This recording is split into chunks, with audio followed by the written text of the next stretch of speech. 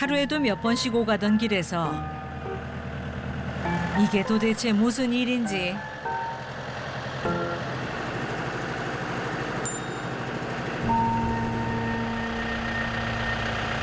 아버님 이거 지금 어떻게 하시게요? 땡겨야지 뒤로. 전혀 당황하지 않고 금세 해결책을 찾는 걸 보면 한두 번 겪은 일이 아닌가 보다.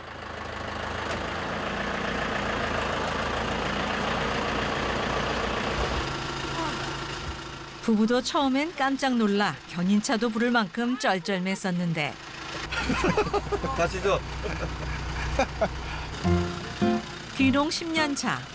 이젠 뚝딱 해결하고 웃어 넘기는 여유까지 생겼다.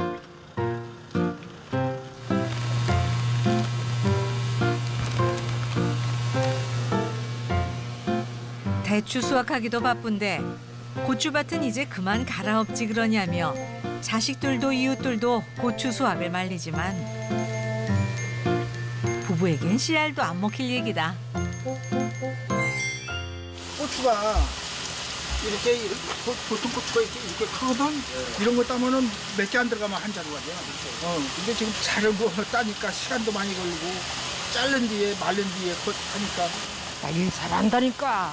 일 잘한다고 뽑혀서 일로 시집온 사람이요. 여기 누가 회장이래? 나는 네가 일꾼이고 회장이지.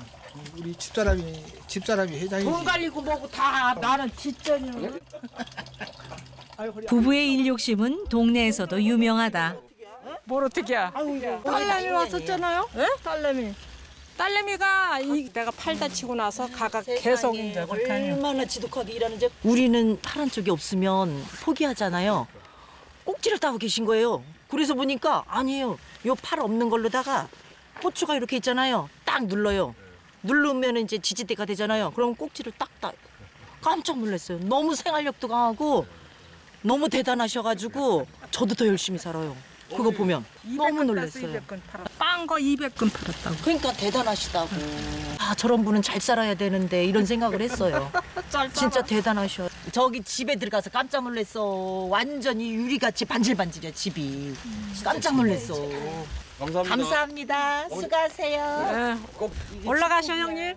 갈게요. 예, 올라가. 고단함도 있게 하는 고마운 칭찬이다. 그 사이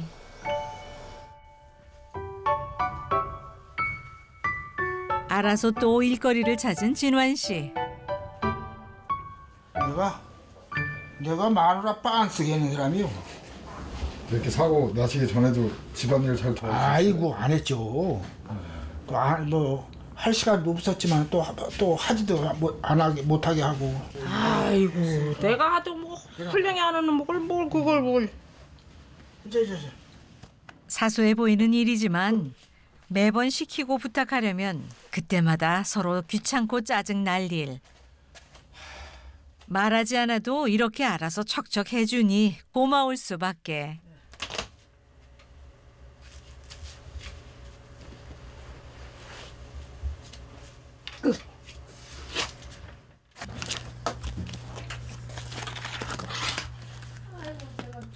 그렇죠. 지난 며칠간 진환 씨를 끙끙 앓게 했던. 택배 송장 인쇄가 인쇄. 드디어 아유 됐습니다. 아유 이걸 하려고 내가 얼마나 고생을 했는지 아이고 3일 동안을 고생했습니다. 네. 이쪽부터 왔습니다. 이럴 때 보면 진환 씨는 역시 의지의 한국인이다.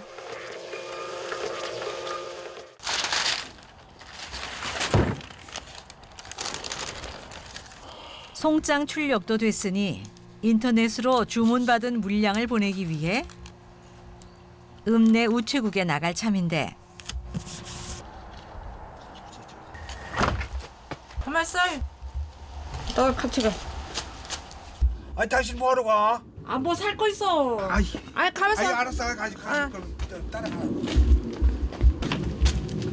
집에서 있지 뭐 바쁜데 뭐 하는데 가. 아이고, 가만 있어.